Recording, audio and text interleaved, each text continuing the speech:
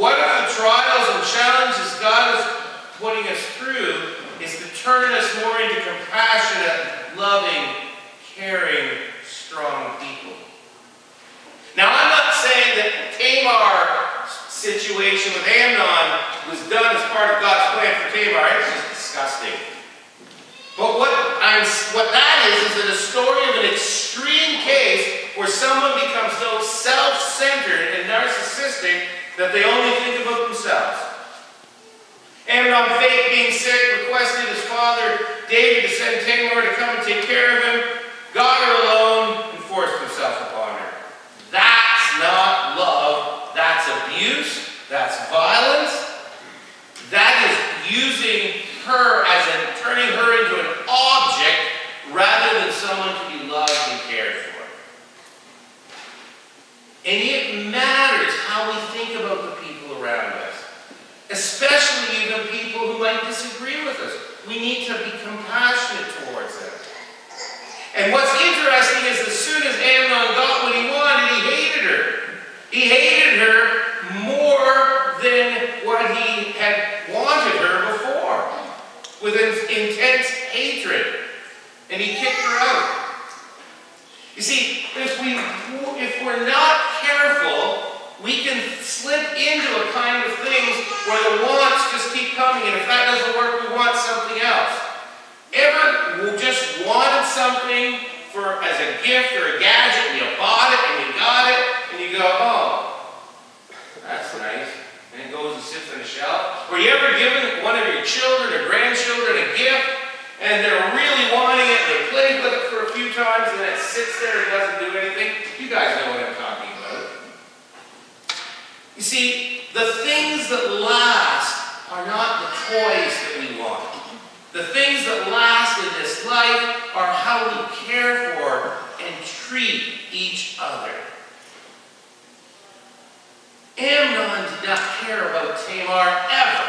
He just wanted to use her for an experience. And once he had that experience, he wanted another experience. It's, the, it's an extreme case of narcissistic self-centeredness. And while I don't expect any of us to go to that extreme, the reality is once we start thinking about how can we use the people around us and objectify them, we're going down a nasty road that needs to be stopped. In complete contrast to being controlled by wants, if we are to be of love, this is what 1 John 4 says. Whoever does not love does not know God because God is love. And this is how God's love is shown amongst us. He sent his one and only Son into the world that we might live through him. And this is love. Not that we love God, but that he loved, that he loved us and sent his Son as an atoning sacrifice for our sins. Real godly love is a sacrificial love that does hard things to care for others. I'll go to the next slide. Okay, at this point, Laura, I need you to push the space bar. So just go sit over there, don't push again. Thank you very much. So the contrast between want or lust and love is fairly evident. Hit the first one, Laura. Just the space bar. Love is other-centered. It does what God wants us to do, and we think about how can I please you. Laura, do you remember when we were trying to decide where to go for Valentine's? And you gave me a hint and I wasn't smart enough and I had to ask for it again? Yeah. So love is when I go where Laura wants to go and not need to be told twice.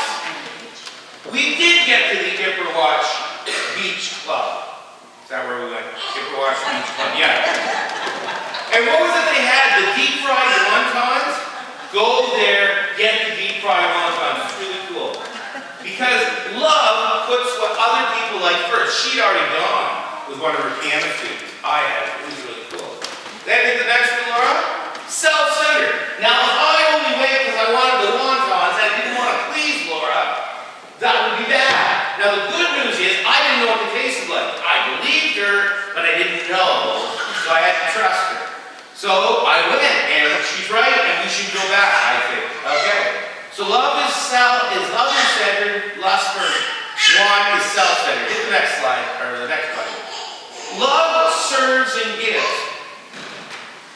Um, true love wants to find out what pleases the other person. What are their interests? And it's not about myself. Hit the next one. Because lust wants and gets what I want. That's why I said to Luke, you can show love for your mother by doing the dishes, or at least putting them in the dishwasher. Why? Because it's about thinking what will be helpful or caring to others. Now, there's lots of other things you can do, but that's an example.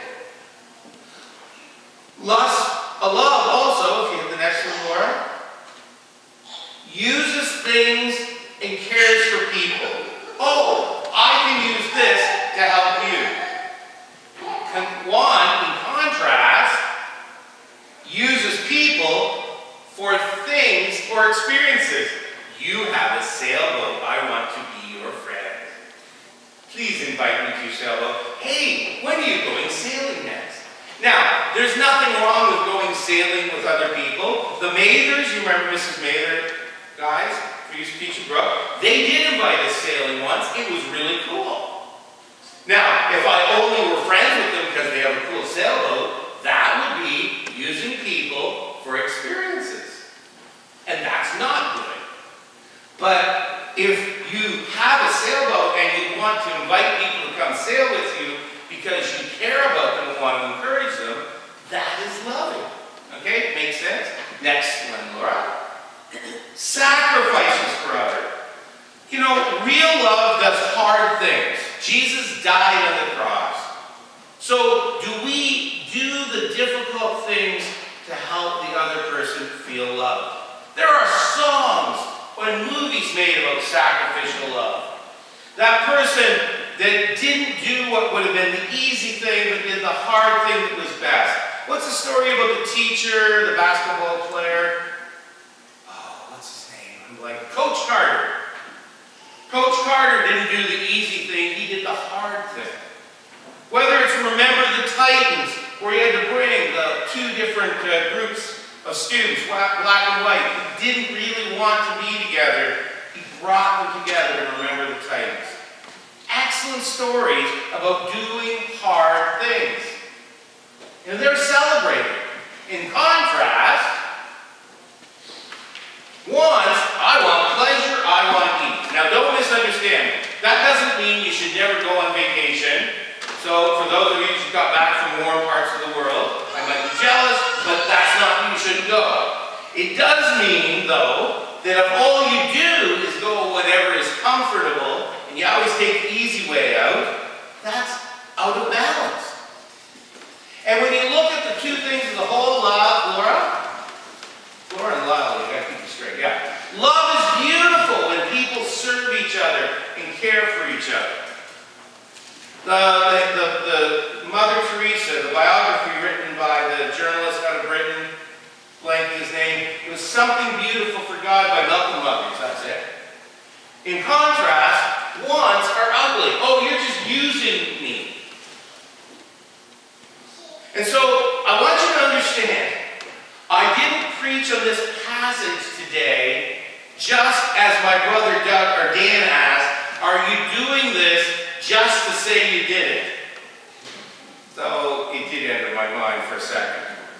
What I really text this passage is, I want us to understand what we do here in worship and what we do about training ourselves to be people of love really, really makes a difference, not only in our lives, but in the lives of the people around us.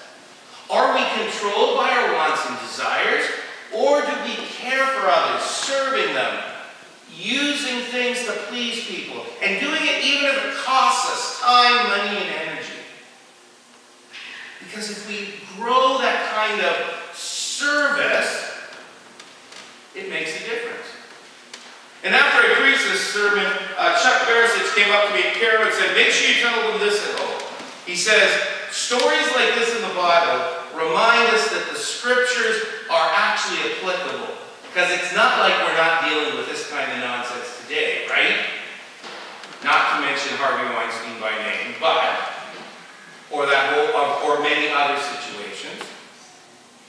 So in conclusion, it is vitally important that we nurture within us not to be self-centered, dishonest, pleasure-seeking people who look to ourselves. We need to come to worship to fill our hearts and minds with God and His ways. We need to read our Bibles and pray so that we're reshaped into people who think about God and how do we love the people around us, all of our neighbors, serving them, and sacrificially serving them sometimes as needed. Because if we do this, we can be used by God to do great things and to make our community and our world a little bit of a better place. Bit by bit, day by day. Let's pray. Our Lord and our God, we come to you not as people who have everything all figured out. We come to you as people seeking you and your guidance.